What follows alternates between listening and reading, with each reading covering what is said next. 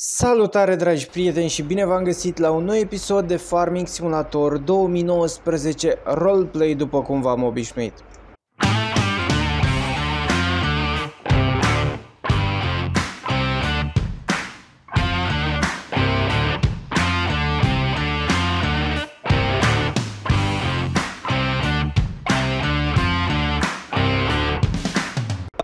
Dragilor, Uh, mergem și noi puțin către magazin iarăși, pentru că vă știți că am făcut împrumut de nu știu câte, de câteva miliarde, de 5 parcă am făcut, da, am făcut împrumut de 5 miliarde și încercăm și facem tot posibilul să mergem cu firma de construcții în continuare, așa că mi-am luat uh, Romanul, mi-am luat Roman Diesel, știți voi camionul pe care eu deja l-aveam și mergem cu el către magazin pentru că avem de luat niște uh, remorci foarte interesante cu care, în care o să mai punem noi lucruri și o să mai facem uh, pe aici pe acolo câte ceva pentru firma de construcții. Pentru astăzi mi-am propus în felul următor să evoluăm puțin cu firma de construcții și să mergem mai departe că vreau să ajungem uh, cât mai repede în fermă și vreau să facem treaba cât mai repede ca la carte, să fie totul în regulă. Dar până atunci toți cei noi care ați venit pe canal, nu uitați să dați butonul de like și să vă apăs și să vă abonați. Pentru că asta este foarte important. Pentru că nu o să mai ratați episoadele uh, viitoare. Și uh, cu ocazia asta o să vă mai apară și episoade vechi care chiar au fost cu adevărat vizualizate și au fost cu adevărat interesante. Înțelegeți? Tocmai de asta este important să te abonezi, pentru că dacă nu te-ai abonat, o să-ți apară doar videoclipuri recomandate, care au fost cu adevărat vizualizate. Dar asta înseamnă că dacă tu te uiți doar la unele clipuri, e posibil să ratezi povestea întreagă și să fii cam uh, să te uiți pe aici pe acolo și să nu înțelegi nimic. Înțelegeți? Că treaba cu roleplay nu stă chiar așa. Trebuie să urmărești tot pentru a ști exact uh, uh, ce se petrece în acel videoclip. Mergem către magazin și am dat comandă de niște lucruri foarte interesante. Nu știu dacă se potrivesc la Roman, dar uh, ar fi foarte tare să se potrivească pentru că abia aștept să văd uh, uite și remorca asta trebuie să o luăm. Vedeți remorca asta care e pe partea dreaptă? O să trebuiască să o luăm și pe asta să o aducem la noi în bază. Doar că până să ajungem să o luăm pe asta mergem să le luăm pe celelalte. Tractorul ăsta la fel trebuie adus la noi în bază și așa. Multe multe avem uh, de făcut avem o grămadă de treabă, trebuie să mă mai duc și la pădure zilele astea, chiar aș vrea să merg la pădure zilele astea, pe lângă faptul că mai am de dus lemne la depozit, mai am de dus lemne la firma de construcții, unde știți destul de bine că acolo uh, nu putem să construim fără să avem uh, lemn. Ca na, se mai strică un utilaj, îl ridici pe două lemne că cric deocamdată n-am cumpărat, o să cumpărăm și cricuri, dar sunt ca foarte scumpe. Sunt 20 de milioane, 15 milioane cric pentru, nu știu, 30 de tone, 40 de tone. Ca să ridici mașina pe cric și să-ți faci uh, problema la ea. Astăzi nu voi tăia chiar atât de mult din videoclip, chiar vreau să fie un videoclip liber, să vedeți și voi cum, uh, cum pot eu să fac, să-mi fac treaba ca la carte. Și sper să vă placă felul acesta, dacă nu vă place, Uh, n-aveți decât să îmi spuneți în comentarii. Avem un felul următor, avem uh, o remorcă. Aoleu, dar asta e că nu merge pentru camion. Uf, ce mă supără. Nu se potrivește pentru camion, așa -i? Deci pentru camion asta nu se potrivește. Nu se potrivește că nu avem uh, cu ce să o legăm. Deci neapărat trebuie tractor aici mm, tractor sau camion, nu știu, în fine. Um, am luat un, uh, un uh, bunker de, dar nu bunker, nici nu știu cum să-i zic, că nu știu cum îi zice, pentru angajați. Asta trebuie să-l ducem la noi în curte. Ia stai puțin, așa, acum sigur l-am, l-am pus bine. Haide mă, dar de ce nu, de ce nu la gață? Trebuia să-l fie agățat până acum. Bă, ești nebun. Nu vrea să agațe. Și când am fost în curte după o remorcă și am agățat, am văzut că a mers. Dar aici nu merge, nu știu, nu se potrivește. Mm, mama ei de treaba asta și mâine. Bă, și am zis că nu tai nimic din videoclipul de astăzi, dar văd că sunt nevoie să tai, că trebuie să mă duc după utilaj care să îmi aducă, care să se potrivească aici la, cum îi zicem, mă, la containerul ăsta, mă, așa, container, frate. Hai mașină, dă înapoi. Deci mașina asta încă mai are probleme, dacă voi credeți că ea merge bine, nu merge bine. Nu prea dă cu spatele așa. Încerc să testez modul în partea asta aici, să văd. Na, n-are niciun stres. Nu vrea, dacă nu vrea, nu vrea. N-am ce să-i fac. Mă chinui degeaba. Da, păi în cazul ăsta o să mă duc cu camionul înapoi acasă și o să vin cu un tractor. Trebuie să iau un UTB ceva. Și cu UTB cu abia o să plecăm la firma de construcții. Și poate mai, uh, mai reglez eu una, două probleme pe aici. Că nu, nu mi-a stat exact capul la ce, ce aveam eu de făcut și uite că am greșit. Revin în câteva minuțele, chiar dacă am zis că nu tai nimic din videoclip, o să tai că până la urmă nu vreau să ne plictisim. Și revin în câteva minute. Fraților, haideți că am uh, reușit până la urmă să aduc uh, un tractor aici. De fapt, două am adus. Și mergem să ducem uh, remorcile astea, dacă v-am zis că avem firmă de construcții, păi noi nu ne jucăm. Am luat și containerul. Containerul, bineînțeles că este unul mai vechi, dar mergem să le ducem pentru că o să avem nevoie mare de ele la firma de construcții. Și v-am zis că vă țin la curent cu tot ce se întâmplă în firma de construcții și asta îmi dau toată silința să fac. De acolo o să facem și o poză pe aici pe undeva. Că arată destul de bine totul. Uite așa. Uite, uite, uite, uite așa. Mm? Nu știu dacă dă bine, nu știu de unde dă bine. Cred că de aici. Nu, nu, nu, nu e bine de aici, nu. Trebuie să mergem mai în față că nu avem nicio... Nu avem nicio tragere de inimă să facem o poză aici, că nu are niciun rost. Nu arată deloc bine. Trebuie să dăm mai în față ca să se vadă mult mai frumos. Da.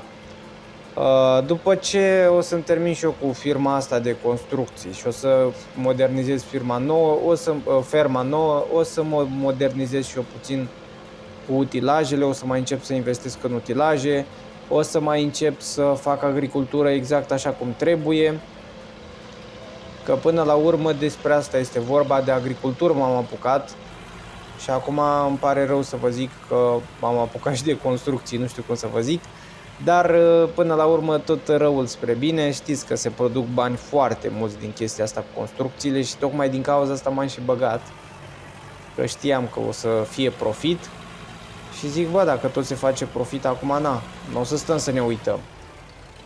Hai să facem profit. Uite așa. Unde mă să prindem noi o poză ca lumea? N-ai, n-ai, n-ai de unde. Nu, nu, nu mă impresionează nicio poziție de, de fotografii. Așa că îi dăm înainte. Am zis și eu că fac o poză frumoasă, dar n-am, n-am cum. Of, grea e viața, grea de tot. Mergem și noi acum repede, repejor către firma de construcții și nu vreau să vă mai țin mult, că și așa episodul ăsta o să fie unul scurt.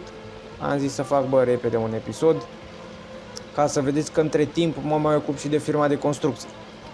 Ferma, la fel, ă, stagnează deocamdată. În episodul trecut știți că am ă, treierat ă, floarea soarelui, mai avem de treierat floarea soarelui în continuare am o grămadă de floarea soarelui de treierat, nici nu știu cum o, să, cum o să fac față cu toată floarea soarelui pe care o încă o mai am de treierat, dar sper să fie totul bine și să meargă așa ca la carte, că altfel uh, n-aș vedea cum, uh, cum aș descurca până să producă firma de construcții bani. Și hai să vă zic o, o șmecherie la toată firma asta de construcții. Uh, eu plătesc pentru ceea ce se construiește, dar plătesc numai materialele. Mâna de lucru nu o plătesc, pentru că este firma mea, normal, nu? Deci asta e toată șmecheria. Mâna de lucru, acolo te poate fura cel mai mult uh, uh, firmele de construcții, la mâna de lucru.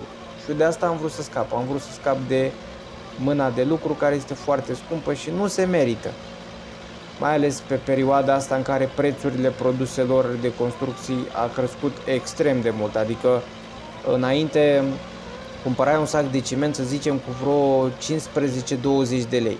Acum ai 30. A crescut cu 10 lei într-un an de zile, dar nu niciun an de zile. Porumbul, la fel, a crescut cu vreo 60%, grâu, vreo 50%, floarea soarelui a crescut cu vreo 70%, adică gândiți-vă de ce am plantat eu floarea soarelui. Am știut, am, bă, dar parcă am prevestit, frate, deci parcă am prevestit. M-am uh, pregătit cu fabrică de ulei, m-am pregătit cu, cu terenuri uh, cultivate cu floarea soarelui și acum Dumnezeu, cu toată treaba asta cu războiul și așa mai departe, nu o să ducă, nu o să ducă lipsă de ulei. Pentru că noi avem. Și din contră o să vindem și la alții. Ia stați puțin că m-am, m-am cam împotmolit aici. De la remorca asta săraca. Și bineînțeles că și ăla cu containerul o să facă ce Bă, n-a făcut. Uite că s-a, s-a redresat. Mă gândeam că o să facă și el la fel ca mine, dar văd că s-a redresat. Perfect, înseamnă că e băiat deștept. Da, asta voiam să vă zic. Uite mă cum, cum m-am gândit la binele populației. Și asta înseamnă să fii un om prevăzător. Adică, bă, trebuie să vezi puțin în viitor, nu adică să fii vrăjitor și să vezi toate, toate alea. Nu, că n-ai cum. Asta e imposibil, nu există așa ceva.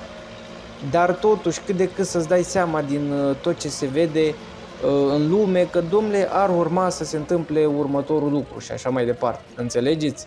E, asta vreau eu să vă explic vouă. Și dacă sunteți puțin vizionari așa în viitor, o să vedeți toate, toate lucrurile astea. Op, hai că am dat în, în asta de curățat. Remorca asta nu știu unde să o pun. Stai așa. Stai așa, bă, băiatule, că nu-i, nu-i bună treaba. Remorca asta nu știu pe unde să o pun. Trebuie să o ducem pe undeva pe aici, pe spate. Tractorul la sărac o să-l o să redresăm de acolo. Și uite în partea asta dacă o să o punem noi, uite aici, cred că pe aici pe undeva o să punem remorca, o lăsăm așa. Când o să avem nevoie, venim și luăm de aici. Așa. Bun. Tractorul îl punem și pe, pe el pe aici să-i prindem o poză frumos. Dar cred că îi, punem, îi prindem o poză chiar în, chiar în momentul de față. Uite aici, chiar putem să le prindem o poză la amândouă. Uite ce bine se vede, ia. Ia că chiar se vede destul de fain. Mm? Parcă, parcă se vede ceva, ceva mișto. Parcă așa. Bun, am prins și poza și acum să-l duc pe, pe nenea asta cu containerul. Să mutăm containerul în altă parte. Ia să vedem unde îl mutăm. Hop. Frumoase tractoarele astea. UTB-urile, sincer, sunt cele mai faine tractoare. Îmi plac extraordinar de mult. Și să mutăm și containerul ăsta. Aș vrea să mai cumpăr un container, dar uh, credeți-mă că sunt destul de scumpe. Asta a fost 120 uh, de milioane. Așa, în condițiile astea în care îl vedeți voi, 120 de milioane a costat. Dacă atât a fost, atât a fost. Eu nu pot să zic, uh, când, când ai nevoie de un lucru și, și știi că îți trebuie, nu poți să mai zici că, domnule, vezi că eu nu-l cumpăr, că e prea scump. Frate, ai nevoie de el. Îl iei așa cât de scump este, când ai nevoie. Și acum s-ar putea ca să nu mai am nevoie și să fie mult mai scump. Da, Asta e treaba. O să încerc să las și câteva tractoare pe aici pe la firma de construcții, dar nu cred că o să am nevoie. Ia să văd. Acum parcă tractoarele arată mai bine, a? Ia să vedem noi, poate prindem ceva și aici.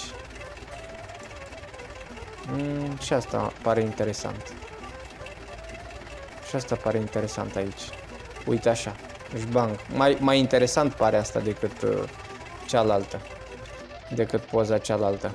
Dacă îl pune și pe ăsta pe aici pe undeva, ar fi și mai interesant, zic eu. Mm? Cam așa.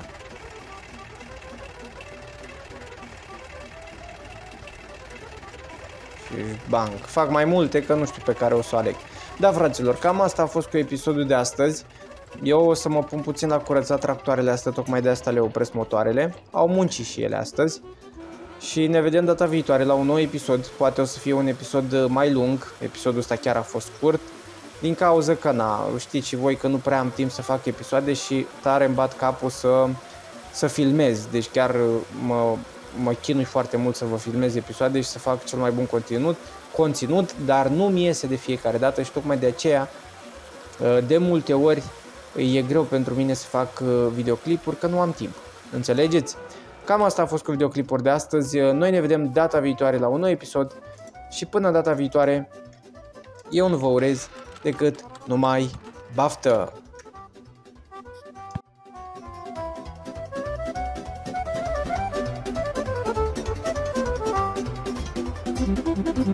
Thank you. フフフフ。